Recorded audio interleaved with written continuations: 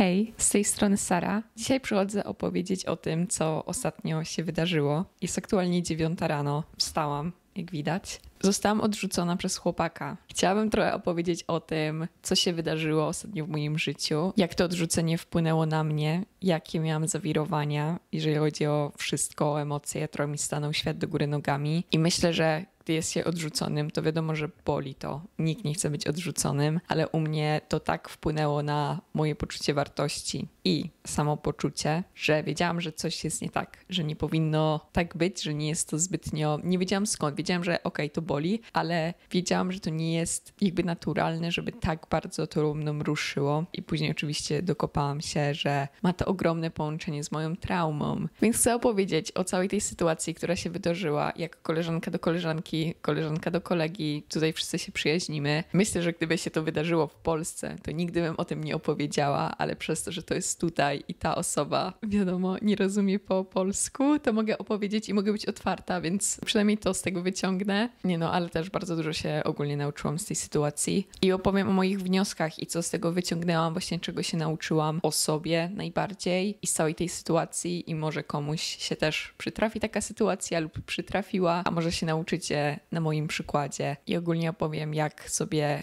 poradziłam lub jak sobie radzić z odrzuceniem, bo myślę, że jest to taka naturalna trochę część. Jeżeli się wystawiamy na randkowanie, to prędzej czy później zostaniemy zghostowani, Bardzo ważne jest, żeby nie brać tego do siebie i nie mieć, że to jest coś z nami nie tak, my musimy się zmienić albo my zrobiliśmy coś nie tak, powiedzieliśmy coś nie tak, trzeba to odpuścić i trochę opowiem właśnie o tym, ale na początku historia. Poznałam chłopaka na aplikacji randkowej. Bardzo, bardzo fajny chłopak. Od razu mi się cały spodobał i to jest bardzo trudne na aplikacji randkowej, żeby wiecie, znaleźć kogoś, kto, kto ci się spodoba. Ogólnie ja mam z tym problem. Jeszcze wiadomo, że aplikacja randkowa to jest tylko na bazie, wiecie, wyglądu, zdjęć, cokolwiek, ale spodobał mi się ten chłopak. Ma 27 lat, ma pracę, bardzo dobrą pracę, zajmuje się nieruchomościami i to jest taka pozycja, że jest dosyć ustawiony, tak powiedzmy, w życiu. I oczywiście też pokazałam tego chłopaka mojej siostrze i mojej siostrze też się spodobał, a to się bardzo rzadko dzieje. Jak mi się ktoś podoba, to najczęściej mojej siostrze nie, moja siostra ma takie, że po prostu nie, a on akurat też miał takie, że super. I ten chłopak też trochę przypomina mojego krasza z liceum. No i po prostu miałam takie, że okej, okay, ten chłopak jest fajny. Jeszcze wcześniej zmaczowało nas na RAI, na innej aplikacji randkowej. I później ja anulowałam RAI, bo miałam takie, że nie chcę korzystać z aplikacji, chcę kogoś poznać w prawdziwym życiu, ale jednak został ten Hinge i tam na niego wchodzę, bo mam takie, że tu w LA jakby no ciężko poznać kogoś tak naturalnie. Jest to po prostu ciężkie w dużym mieście. Wydaje mi się, że każdy rozumie, każdy, kto był na aplikacji randkowej, jakby nie wstydźmy się tego. Na aplikacjach, poznaje się osoby. Ja znam bardzo dużo znajomych, którzy są w związkach przez aplikacje randkowe i są one dosyć udane i trwają. Więc jakby nie mam nic z aplikacji randkowych, więc byłam na tym Hinge i zmaczowało nas ponownie właśnie na tej aplikacji. I on od razu napisał, że zmaczowało nas na RAI. Ja powiedziałam, że, że już nie korzystam z RAI. I pisaliśmy tak przez około miesiąc, dwa co jakieś dwa, trzy tygodnie coś tam, wiecie, jakieś krótkie, że o, musimy się spotkać. I później była jakaś cisza, on gdzieś na przykład leciał do Nowego Jorku do pracy i znowu później wracał, się odzywał, co też w ogóle może mi dać dużo już do myślenia, że wiecie, ten kontakt nie był taki ciągły, tylko było raczej takie skakanie, że był kontakt, nie było kontaktu, cisza i znowu kontakt, no ale tak pisaliśmy i później umówiliśmy się, żeby się spotkać i przed spotkaniem właśnie przez to, że pisaliśmy, to tak trochę już wiedziałam, jakby z kim mam do czynienia, a nie było, że wiecie, pierwsza wiadomość to była ok, spotkajmy się. Tylko jakby był ten taki kontakt i miałam, że ok. I tak omijając już wszystkie szczegóły, to jakby spotkaliśmy się dwa razy. Po pierwszym spotkaniu już się umawialiśmy na drugie spotkanie i też na tych spotkaniach była rozmowa o innych spotkaniach, typu, że o, musimy pojechać tutaj, albo on powiedział, że o, zabiorę cię do tej restauracji, albo czy byłaś tutaj, że musimy tu iść, tam iść. Czyli wiecie, były takie wskazówki od niego, że on jakby myśli o dalszych spotkaniach. Więc to jest taka pierwsza rzecz. Ja, jeżeli chodzi o relacje, to jestem taka dosyć bezpieczna i uważna, że tak wiecie, obserwuję wszystko, takie najmniejsze, wiecie, jakieś szczegóły, kto coś robi, ale to też za chwilę opowiem skąd się to bierze, bo jest u mnie dużo strachu w relacjach, w bliskich relacjach i w zaufaniu. Więc jak wiecie, obserwowałam go, jakieś wszystkie jego gesty i było takie, że on myśli, żeby się spotkać ze mną, wiecie, ponownie. Później raz powiedział, że chce mnie przedstawić swojemu współlokatorowi, więc też miałam takie, że wszystkie wskazówki, które mi dawał, to było takie, że myśli o mnie tak, wiecie, bardziej na poważnie, że jakby spotkamy się bardziej, a że nie zakończy się to, nie? Wiadomo, wydaje mi się, że każda osoba by tak pomyślała, wiecie, jak ktoś ci mówi, że o, musimy pojechać do tej restauracji, muszę cię zabrać tutaj, a byłaś tam. Myślę, że to jest dosyć zrozumiałe. Z kolejnych takich rzeczy to mieszkamy bardzo blisko siebie, dosłownie bardzo, bardzo, bardzo blisko siebie. Była chemia, więc tak z dwóch stron wszystko wydawało się, wiecie, takie idealne. Jakby dogadywaliśmy się, mieliśmy fajną konwersację. Po pierwszym spotkaniu moje przeczucia były takie, że on jest mądrzejszy ode mnie. I myślę, że to była jedna taka z gorszych rzeczy. Może nie z gorszych rzeczy, bo po prostu przyszło to naturalnie, tak pomyślałam. Może nie mądrzejszy, bo jakby wiecie, różne, są różne obszary życia, różne kwestie. Ktoś może być mądrzejszy w jakiejś dziedzinie, cokolwiek, ale był bardziej, powiedzmy, że ustawiony w życiu, co mi zaimponowało. I też z rozmowy widziałam i czułam, że jest, że po prostu jest mądry. I też na początku było takie przestraszenie, ponieważ to jest też takie w moich oczach bardziej niebezpieczne, że wiecie, jak ktoś jest mądrzejszy od ciebie, to to może cię zranić. Jeżeli ty się zakochasz w kimś bardziej niż ta osoba w tobie, to ta osoba cię może zranić. I tak wracając trochę, żeby dać kontekst, wracając do przyszłości, ja nigdy nie połączyłam się z osobą, nie byłam w związku, gdzie ja bym była bardziej zakochana w tej osobie niż ta osoba we mnie. I to się bierze z dużego strachu przed zostawieniem czy odrzuceniem, co jest też bardzo powiązane z moją traumą, o której trochę opowiem. Jest to dosyć ciężkie, ale opowiem o tym. Więc ja zawsze, gdy byłam w związkach, szukałam kogoś do związku, no to wybierałam sobie osobę, nad którą mam kontrolę, która mnie nie zostawi, która jakby wiem, co się dzieje u niej w głowie, co czuje, co myśli, nie zaskoczy mnie niczym. Dlatego ten chłopak był czymś takim nowym i na początku miałam takie, że o, taka osoba by mogła mi złamać serce. I to mnie trochę tak odrzuciło, ale miałam takie, że nie, może Sara właśnie pierwszy raz w życiu masz szansę na taki związek, gdzie nie będziesz miała kontroli nad kimś i to będzie ok, że będziecie dwoma takimi mutual osobami, jakby, że nie będzie takiej dynamiki, że ktoś ma więcej, wiecie, power, więcej siły nad nad drugą osobą, na przykład większą kontrolę. Czyli pomyślałam, że o, może pierwszy raz będę miała zdrowy, taki wiecie, wyrównany związek albo jakąś relację, nie? Bo nie wiadomo, jakby to były dopiero dwa spotkania, jeszcze nie znałam do końca tej osoby. Więc tak podsumowując samą sytuację, no to chłopak bardzo mi się spodobał, jakby dostrzegłam jego wartość, bardzo mi zaimponował, to ogólnie jaki jest. Ktoś wam się podoba, te wszystkie takie małe gesty, małe rzeczy, które robi, czy mimika, takie wszystkie drobne drobnostki, wy to zauważacie i tak wam się to strasznie podoba i tak wiecie, po prostu pewnie opisuję, nie wiem, zauroczenie. Więc te wszystkie jakieś takie rzeczy, no ja po prostu byłam taka, że wow, nie, że w ogóle super, super. I jeszcze ten chłopak dawał mi takie znaki, że też jest mną zainteresowany, że była ta chemia, super nam się gadało. I później jeszcze przejdę do takich moich domysłów, jakieś różne zachowania, czy co było mi powiedziane i może dlaczego. I odrzucenie wyglądało tak, że po prostu zostałam zghostowana. Po tych spotkaniach było pisanie i później ja nie odpisałam, bo miałam takie, że to nie było jakby pytanie, tylko on coś tam napisał, więc ja na to nie odpisałam, bo nawet nie dało się na to zbytnie odpisać. I później ja po jednym dniu napisałam, nieważne, ja coś napisałam i zadałam pytanie i nie dostałam żadnej odpowiedzi. I minęły dwa tygodnie. Gdy nie odpisywał przez jeden cały dzień i później przez drugi, to ja miałam atak paniki. I wiedziałam, że to nie jest normalne, nie było to dla mnie logiczne, żeby mieć taką reakcję na to, że ktoś nie odpisuje przez dwa dni. I później, dopiero wgłębiając się i na terapii, dotarłam do tego, że za tym stoi coś większego. Poczułam ogromne zranienie, taki zawód, odrzucenie i po prostu było mi niesamowicie smutno i tak żal. I moja głowa kompletnie nie umiała tego pojąć, dlaczego ta osoba mi nie odpisuje po tych wszystkich znakach i po tych, jakby wiecie, spotkaniach, gdzie było tak super, super, nagle jest koniec, jakby takie odcięcie. I też to była taka ciągła bitwa myśli, że okej, okay, minęły dopiero dwa dni, Sara, uspokój się, uspokój się, będzie dobrze, odpiszę ci. I później było takie nie, że on już, wiecie, nigdy go nie zobaczę, z zghostował mnie, że coś było nie tak, że ja coś zrobiłam nie tak, że nie lubi mnie, że nie zobaczę go już nigdy w moim życiu. I wiecie, po prostu to była taka bitwa myśli, takie silne uczucia zranienia i żalu i później tak moja głowa próbowała to bardzo racjonalizować i ja to robię, gdy pojawiają się takie ciężkie uczucia, że próbuję sobie je wyjaśnić, wytłumaczyć, żeby ich nie czuć albo żeby ich tak nie przeżywać intensywnie. A to jest złe, jeżeli chodzi o uczucia, bo wszystkie uczucia nam coś mówią. Jeżeli czujemy się zranieni, czujemy żal, to to jest taka wskazówka, że okej, okay, musiało nam naprawdę zależeć na tej osobie, albo naprawdę ta osoba nam się spodobała. To był taki znak od mojego ciała, że naprawdę polubiłam tą osobę, dlatego jest to zranienie, bo jeżeli by mi nie zależało, to bym nie czuła tych wszystkich emocji. Nie ma dobrych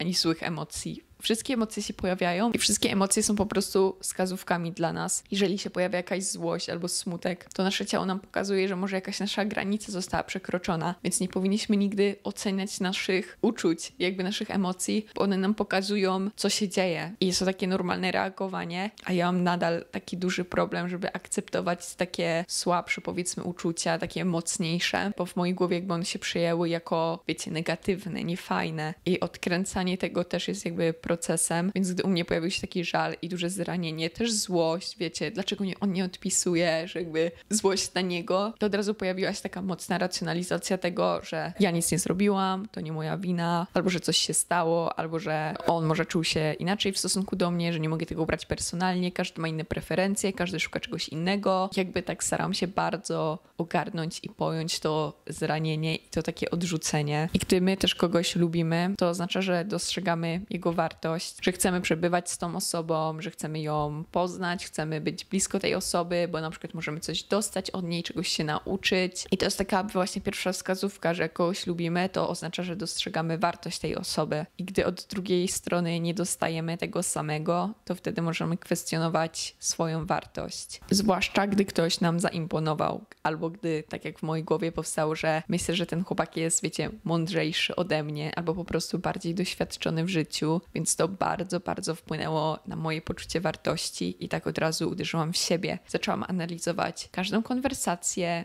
nasze wiadomości, tak wiecie, w głowie, bo nie jestem też jakaś taka psycho, żeby wiecie, wszystko analizować, a tak zaczęłam sobie, wiecie, różne scenariusze i wracać do czegoś, co ja powiedziałam, co on powiedział, jaka była jego reakcja, co mogłam zrobić inaczej. I tak zaczęłam bardzo kwestionować swoją wartość i siebie. I po tych wszystkich takich analizach doszłam do momentu, że jakby wiadomo, że były jakieś, że o, że to mogłam zrobić inaczej, to, to i to, mogłam inaczej odpisać, mogłam zaproponować jakieś spotkanie kolejne, bo jakby to się nie wydarzyło, ale to też zaraz przejdę do tego, więc jak tak ochłonęłam i tak sobie, wiecie, przeanalizowałam wszystko psycho w głowie, to miałam takie, że ja nic nie zrobiłam źle. Byłam sobą i ja z mojej strony, z mojej perspektywy, jakby nie zrobiłam nic, co by mogło kogoś zaboleć, co by było jakąś grą, jakby ja nie wyrządziłam żadnej szkody, nie mogłabym zrobić czegoś inaczej, że naprawdę nie leży tutaj wina po mojej stronie, że wiecie, ktoś mnie odrzucił, bo na przykład coś zrobiłam nie tak. Po prostu byłam sobą. Więc to była taka pierwsza rzecz, która bardzo mnie uspokoiła. Miałam takie, że okej, okay, wiem, że z mojej strony wszystko było w porządku. Jeżeli ktoś mnie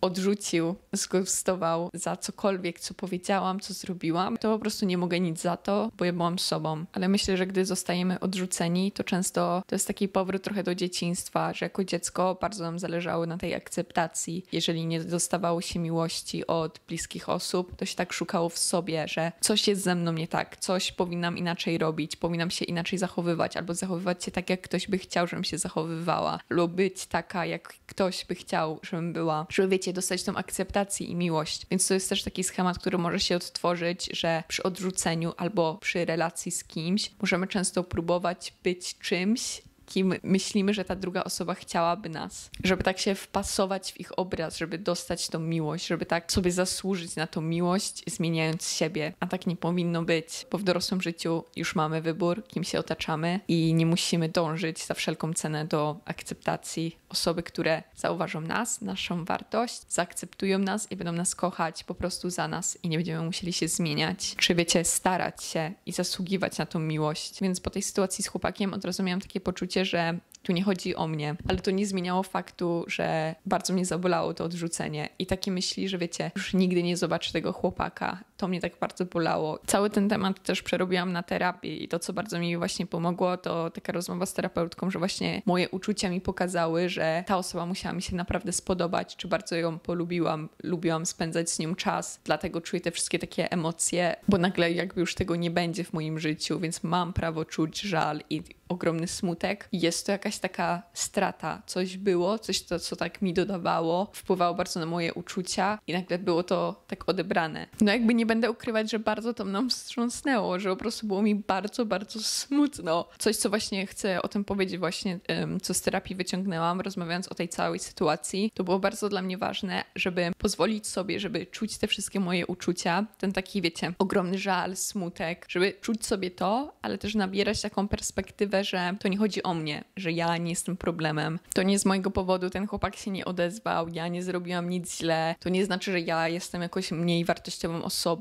czy wiecie, tak musiałam wrócić. Okej, okay, moja wartość się nie zmieniła, że znam swoją wartość i że to, że chłopak, którego ja bardzo jakby doceniłam, powiedzmy, to, że on mnie zghostował, to nie oznacza, że chodzi tutaj coś o mnie. Nie powinno to wpłynąć na moje poczucie wartości. Więc wydawało mi się, że były takie dwie rzeczy, które musiałam bardzo zrozumieć. Po pierwsze, to właśnie, żeby pozwolić sobie, żeby czuć te wszystkie uczucia, nie oceniać się za nie, zrozumieć, przytulić i mieć takie, okej, okay, tak się czuję i to jest okej, okay, nie racjonalizować tego. A druga strona to była taka nabranie większej perspektywy i żeby tak nie obwiniać siebie za to i że to ja coś zrobiłam, wiecie, nie tak i żeby nie kwestionować przez takie odrzucenie swojej wartości. Więc teraz opowiem, co mi pomogło w wyjściu z tego, zrozumieniu, po prostu move on i żeby pójść dalej. Pierwsze co, to musiałam sobie przypomnieć, że nie znam tej osoby w pełni, że dosłownie poznałam tego chłopaka dwa razy. Wiecie, pierwsze spotkania to są najczęściej różowe okulary. My nie znamy do końca tej osoby. Też nie znamy intencji tej osoby. Dlaczego ktoś randkuje? Dlaczego ktoś spotyka się? Dlaczego akurat ktoś wybrał ciebie, żeby się spotkać? Jakby, jakie są intencje za tym spotkaniem, czy za randkowaniem? Może komuś zależy tylko, wiecie, na jednej rzeczy. Ktoś po prostu rozgląda się, albo ktoś wchodzi na randkę, bo po prostu, nie wiem,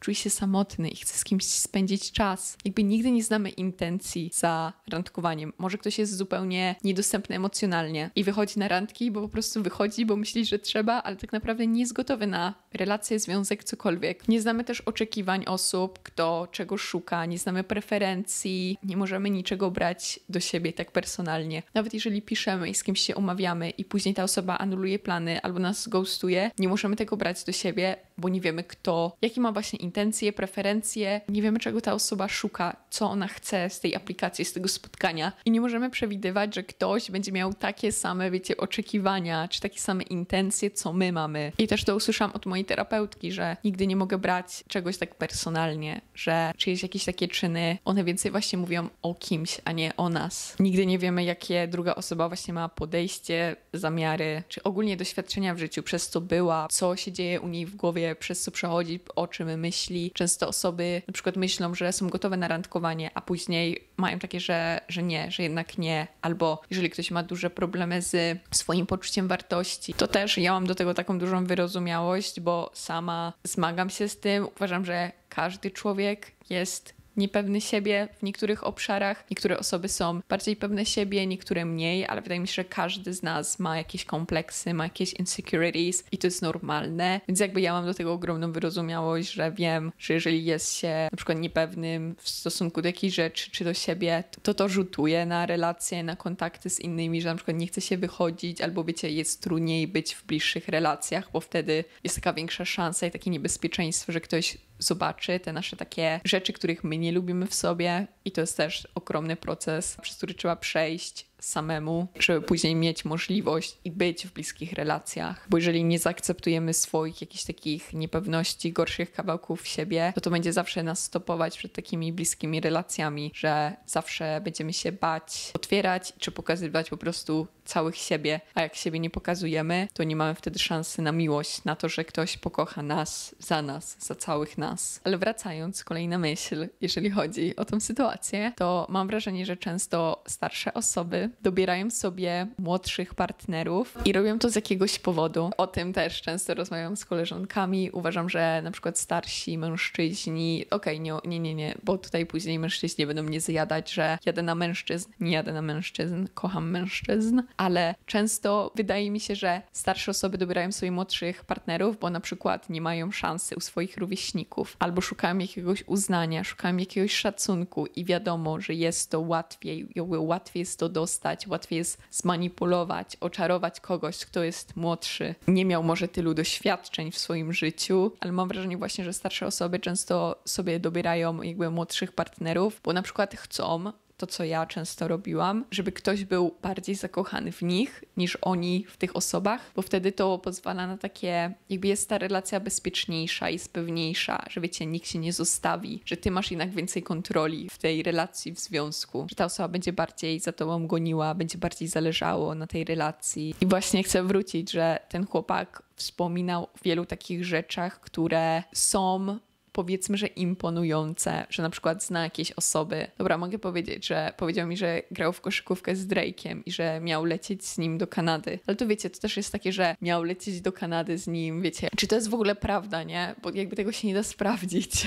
I jakby też miałem lecieć, jakby to się nie wydarzyło, co nie? Więc później jak sobie tak na czysto, tak że okej, okay, nie idealizując tego chłopaka i nie mając takiego, że on jest, wiecie, super, super, super, tylko tak popatrzeć, może z takiej trzeciej perspektywy, jakby ktoś tam siedział i nas słuchał, nie? A nie, że, że to jestem ja, to tak miałam takie, że no ten chłopak próbował mi bardzo zaimponować, bo opowiadał mi o swojej pracy, opowiadał mi, wiecie, jakich ma klientów, co tam robi, opowiadał mi trochę o swoim takim stylu życia, więc jakby dużo mi takich rzeczy mówił, które mi jakby miały zaimponować, a mi one nie zaimponowały. To nie było jakieś takie bardzo urażące, takie wiecie, że o ja to, to, to i to, tylko to było bardziej takie właśnie godne, takie po prostu przekazywanie informacji, ale wiem, że wiele osób, czy wiele dziewczyn jakby wartościowałoby te rzeczy, że jakby te rzeczy by bardzo zaimponowały. A przez to, że ja pracuję nad sobą i przypominam sobie, może nie codziennie, ale tutaj w Los Angeles bardzo pracuję nad swoimi wartościami, nad tym, co jest ważne w życiu, żeby o tym nie zapominać, bo tutaj ludzie wartościują inne rzeczy, które są dla mnie na przykład ważne w życiu, dlatego często muszę robić sobie taki check ze sobą, ok, dlaczego robię jakieś rzeczy, z jakich powodów, żeby po prostu nie zatracić się w tym świecie, gdzie ważny jest status społeczny, to jak się wygląda, to ile ma się pieniędzy i to z kim się zadajesz. Teraz też jestem w takim momencie, gdzie już tak odpuściłam to, że dalej czuję taki żal i jest mi przykro, ale też odpuściłam to, bo uważam, że jeżeli coś jest trudne, skomplikowane, to to po prostu nie jest dla ciebie. I teraz po prostu sobie knuję domysły, dlaczego dlaczego, co się stało. Jakby nigdy nie znajdę na to odpowiedzi. Musiałabym się, wiecie, jego zapytać, ale może on poczuł, że mi to nie imponuje. Może on chciał znaleźć kogoś, komu by to bardzo zaimponowało. Ktoś, kto by, wiecie, podziwiał go za to, biegałby za nim. Jakby nigdy nie znamy intencji. Jeżeli też starszy chłopak spotyka się z młodszą dziewczyną, to też mi zawsze daje taki znaczek zapytania, nie? Jakby dlaczego, że jak ja miałam 27 lat i bym spotkała kogoś, kto ma 21, to miała, że dzieciak, nie? Jakby jeszcze nic nie wiesz o życiu czy cokolwiek. Ale też można znaleźć znaleźć, wiecie, różne usprawiedliwienia, sobie wymyśleć historię, co poszło nie tak. Ważniejsze jest tylko, żeby tego nie brać personalnie i nie brać tego za to, że ze mną jest coś nie tak, ja zrobiłam coś nie tak, ja jestem jakaś, jakaś, jakaś. To jest takie najważniejsze przy odrzuceniu, żeby nie kierować tego na siebie. Bo to nie jest tak, że ktoś nie widzi twojej wartości, ale może nie chcą akurat tego, co ty oferujesz i to jest ok. A niektóre osoby nie zobaczą nigdy twojej wartości i to nie jest twoje zadanie, żeby udowodnić. Jedna rzecz, którą sobie zanotowałam i miałam takie, że okej, okay, o tym muszę pamiętać na życie. Jeżeli ktoś ciebie nie chce, i nie ma to żadnego sensu, to to oznacza, że to nie jest właśnie przeznaczone dla ciebie i trzeba odpuścić. A wracając jeszcze do tego, dlaczego mnie to tak zabolało i dlaczego miałam atak paniki i dlaczego nie umiałam oddychać i było bardzo ciężko, a to wiecie, było odrzucenie, wiecie, po dwóch randkach, nie znam tej osoby, a tak bardzo we mnie to uderzyło. Ta sytuacja bardzo striggerowała moją traumę, z trauma dzieciństwa. Nie chcę jakby wchodzić w szczegóły, ale że spotkałam się, wiecie, z odrzuceniem i z brakiem akceptacji przez całe życie życie kierowałam to w siebie, że coś ze mną jest nie tak, że ja powinnam być inna i że po mojej stronie leży wina, że zostałam odrzucona. Czy takie poczucie, że byłam niewystarczająca, taka jaka jestem, że wiecie, nie zasługiwałam na miłość za to, jaka byłam. I dlatego teraz, jak się spotkałam z tym odrzuceniem, to pierwsze co, to było takie, że na mnie, nie, że to ze mną jest coś nie tak, ja coś źle zrobiłam. I wróciło właśnie to samo uczucie z takiego dzieciństwa, że, że zostałam zostawiona i dlaczego, nie? Z jakiego powodu? Ta sytuacja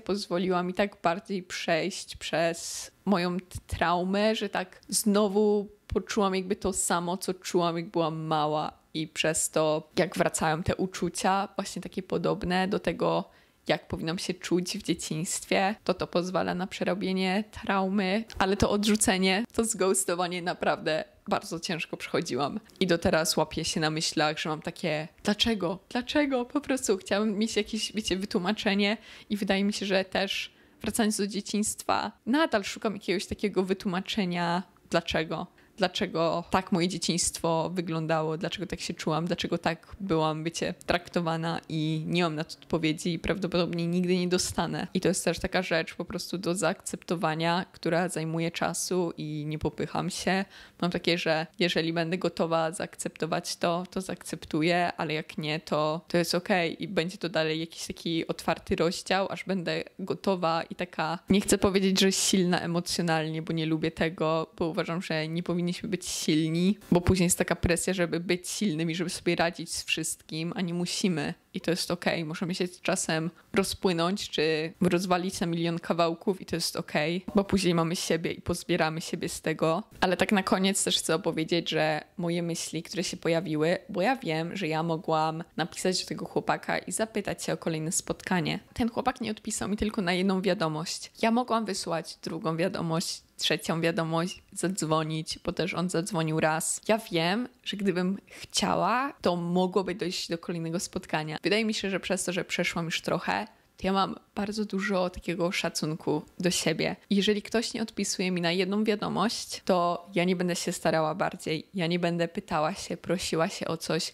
nie będę szła za kimś dopytywała się, jakby goniła. Jeżeli komuś nie zależy na mnie tak samo jak mi na tej drugiej osobie, to to nie jest po prostu przeznaczone dla mnie. Ja się usuwam, ponieważ mam w swoim życiu takie osoby, które dostrzegają moją wartość, szanują mnie, jakby zależy im na tym, żebym ja się dobrze czuła i mi zależy na tych osobach, żeby te osoby się dobrze czuły.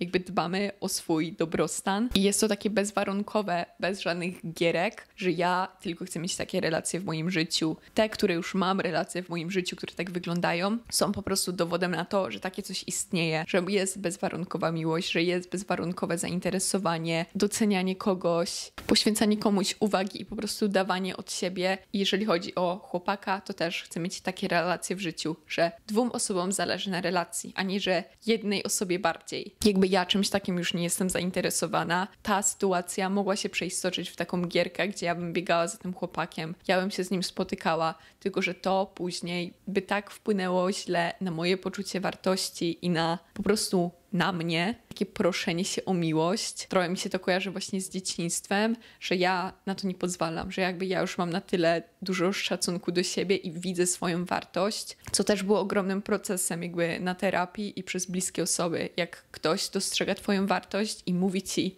za co cię lubi, to wtedy też ty widzisz te rzeczy i dostrzegasz swoją wartość, więc jakby już przeszłam przez to, więc nie biegam za nikim, bo osoby, które widzą moją wartość, będą chciały mnie w swoim życiu, bo będą widzieli mnie za coś fajnego, wiecie, wartościowego, jak ja kogoś lubię, czyli uważam za osobę, że jest wartościowa, to też chcę tą osobę w moim życiu i będę robiła wszystko, żeby, wiecie, nawiązać relacje z tą osobą. Nie wiem, ile osób o tym usłyszało, ale chciałabym doedukować o takiej innej metodzie manipulacji, która jest bardzo zła i uważam, że dobrze jest wiedzieć o niej, żeby po prostu nie być ofiarą tego, czyli przyciąganie przez odpychanie. Ile osób się spotkało z tym, że jeżeli ktoś jest taki mega zainteresowany tobą, to ty tracisz zainteresowanie, a jeżeli ktoś jest trudno dostępny, albo wiecie, zadać ci jakieś parę takich ciosów, coś cię zaboli, ale jest tam jakaś taka chemia, to bardziej ciągnie do tych osób. I to jest coś bardzo, bardzo toksycznego, że ktoś na przykład na początku relacji daje ci dużo miłości, docenia cię, zauważa,